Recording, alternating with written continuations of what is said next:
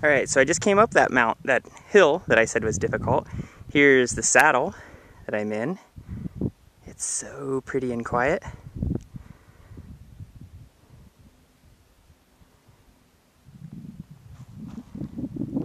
Beautiful mountains. Uh, if you just go over that little ridge right there, you go down to Powerline Pass.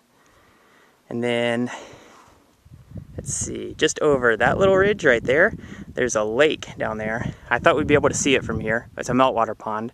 But once I get a little bit further up here on this mountain, I think right about there, I'll shoot another video or possibly right there, I'll shoot a video and we'll be able to see that meltwater pond. And then I'll shoot one more at the top since I don't have a video stitch program to put it together.